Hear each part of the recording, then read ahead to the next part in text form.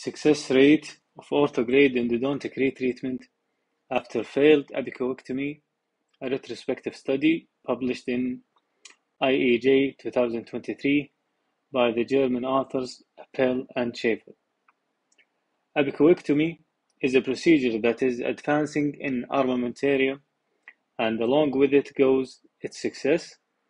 However, it's still reported to yield a lower range of success compared to non-surgical retreatment, at least in the available literature.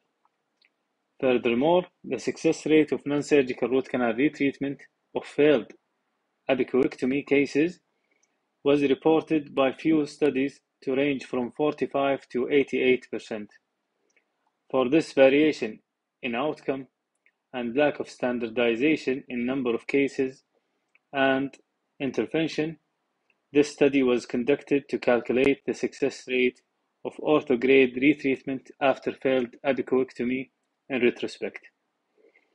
A total of 191 patients with 191 teeth were selected and evaluated according to Molven 1987 criteria. Then results were expressed using Kaplan-Meier uh, survival analysis.